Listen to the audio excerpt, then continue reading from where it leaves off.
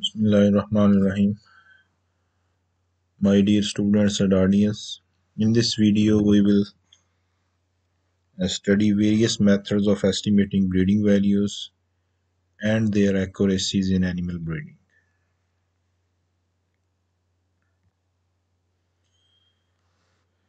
Animal breeding is based on selection and selection is based on genetics which is typically called EBV, estimated breeding values. As true breeding values are never known, so we try to estimate breeding values, which is the value of animal as a genetic parent. So estimated breeding value is the value of an animal as a genetic parent. For example, if sire A has breeding value of 16 kg for weaning weight, dam A has breeding value plus 6 for weaning weight. And we know that sire contributes a half to its progeny, which is plus 8, and dam contributes a half, which is plus 3. So their progeny will wean 8 plus 3, 11 kilogram heavier than population average. What information is required for calculating EBVs? We typically need at least one of the following information pedigree, animal zone performance, his progeny, or more recently we need SNP chip genotype or marker information. Some words on accuracy of EBV. Accuracy is defined as correlation between true and predicted breeding values and accuracy of EBVs is generally based on the heritability of the trait and number of records available on animal or progeny. So methods of estimating EBVs, uh, here is a general equation which is AI hat which is predicted or estimated breeding value is equal to B yi minus mu, where ai hat is EBV of animal i for a single trait, for example milk yield. A hat is for prediction.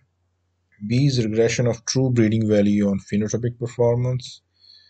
yi is performance of animal i and mu is herd mean or overall average performance of animals in the same management group.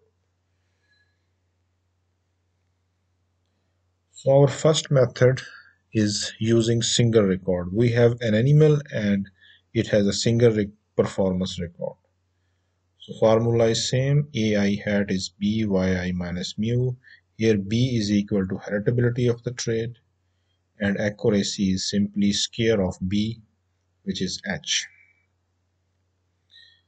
We can solve a single ex simple example for method 1.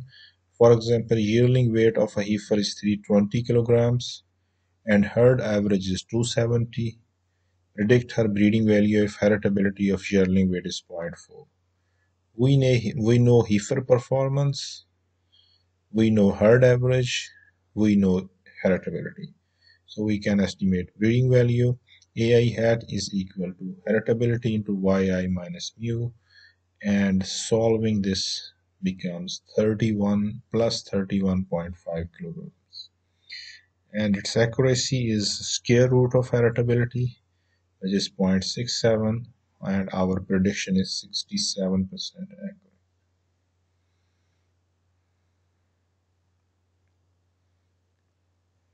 Second method, if we have more than one record, multiple measurements of the same trait are recorded on an animal, then what we will do we will simply take mean of n records on animal i so whatever measurements we have we will take their average and we will put in here.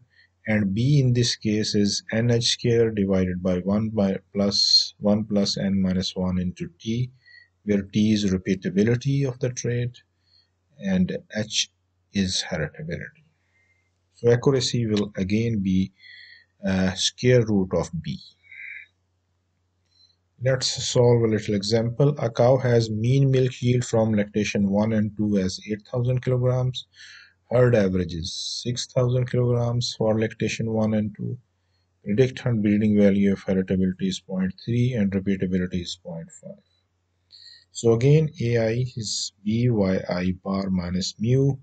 So if you calculate put all values in B's formula, it is 0.4 and the EBV is plus 800 kilograms.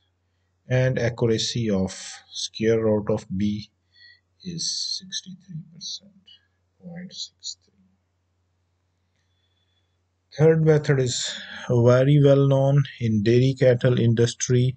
We use progeny records to predict breeding value of a bull.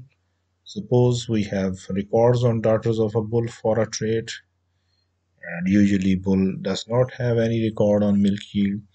So what we will do is we will predict bull's breeding value on the base of daughter's performance. So here y i bar has a different meaning. It is mean of n progeny of sire i for a trait so we will take average of all the daughters of this bull and we will minus it from the population average for the same trait and b in this case is different. B is equal to 2n over n plus k where n is number of daughters of a sire and k is 4 minus h square of h square. So h square is heritability. And accuracy would be n over n plus k square root of n over n plus Suppose we have average fat yield of 25 daughters of a bull as 250 kilograms. In a lactation, herd average is 200. Predict bull EBV for fat yield if heritability of same is 0.3. So again here B we need to estimate B and B is 1.34 and yi bar is 250 minus 200 and EBV is plus 67 kilograms and accuracy is square root of n over n plus k which is 1.3 it is 82 percent. So accuracy of this EBV is 82 percent. And um, suppose we are interested in estimating the future performance of daughter of this bull. So what we will do y hat is future performance point half of EBV of bull plus herd mean so a half is 33.5 and plus herd average is 200 so this bull's daughter will have an EBV of 233.5 kilograms for fat yield. Method 4 is using pedigree record. In this case we have no record on animal is available. EBV of is our sire and dam are available for a trait under consideration. So in this case uh, EBV would be A hat, A0 hat is A O hat is a breeding value of offspring, which is equal to breeding value of sire plus breeding value of dam divided by 2. And its accuracy would be a half of square root of accuracy of sire squared, E sire ABV squared plus accuracy of dam EBV squared. Let's do a simple example here. EBV of sire and dam of heifer of 180 and 170 for yearling body weight. Accuracies are 0.97 and 0.77. Predict her EBV for yearling weight and accuracy. So we simply put these values here and divide it by 2. It is plus 125 kilograms and accuracy is again 62%. So now you know how to estimate heritability. Take home messages uh, uh, you know how to estimate uh, EBV. Uh, take home messages EBV is additive genetic worth of an animal. For EBV, first we need to estimate heritability of the trait in that population. Then we can estimate breeding value of animals in that population and their accuracies. Plus EBV means animal has potential to produce progeny with above average performance minus EBV means animal has the potential to produce progeny with below average performance and zero EBV means it is equal to uh, population average.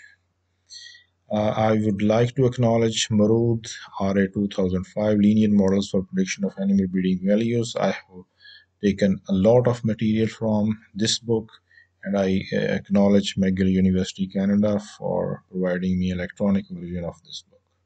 Thank you very much for your attention. If you have any question, please contact.